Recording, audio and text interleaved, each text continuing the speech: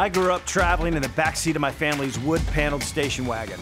Getting lost fills my soul. It's who I am, it's embedded in my DNA.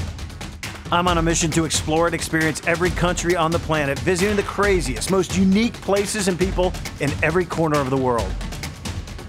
I'm Jim Kitchen. Join the journey.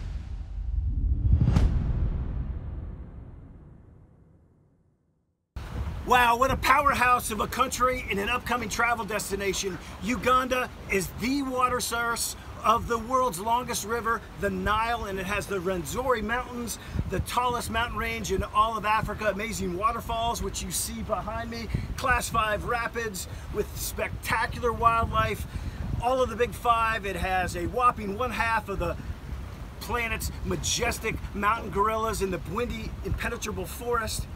Now, most people don't know that the Nile River starts in Uganda, and today we are on it at the famed Murchison Falls, which is one of the most powerful waterfalls on all of the planet, where the Nile River narrows from 500 feet wide to just 15 feet wide in this gorge, creating this unbelievable spectacle behind me.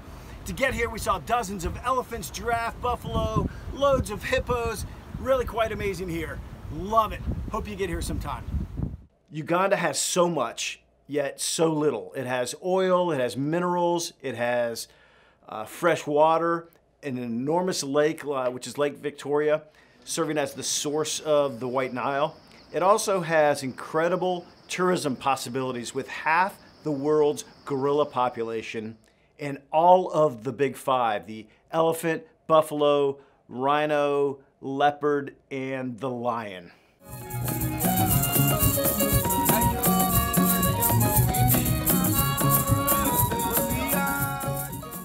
Overall, I loved, loved, loved my time in Uganda, and I felt that sense of loss when leaving. Generally, when I feel that way, it means that it's a place that I loved visiting. Thanks for tuning in. Make sure to like, comment, and subscribe to keep exploring and learning about the rest of the world. Join the journey.